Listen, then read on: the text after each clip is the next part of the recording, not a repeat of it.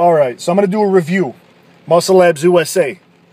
I always see things online for, you know, Dianabol and um, other things that they have saying that they're going to have, like, you know, amazing results from taking this. And obviously, it's not the actual steroid, but they say they have similar um, results.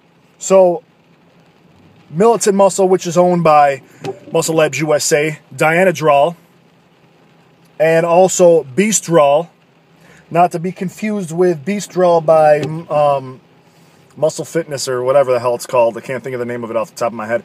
But um, I took both of these because a friend tipped me off about them last year and said they're great things. I also took the D-Bol from um, Muscle Labs USA.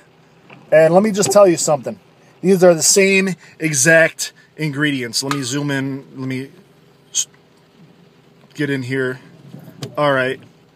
Colostrum, 1,000 milligrams, echinacea, and uh, golden seal.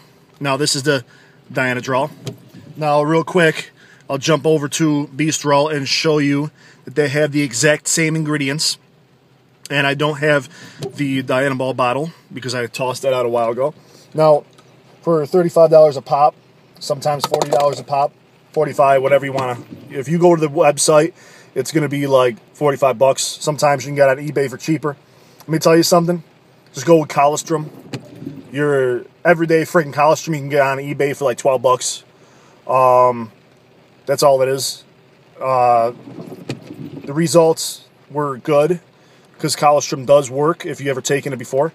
Um, other than that, don't waste your money on this shit because they're just throwing out a name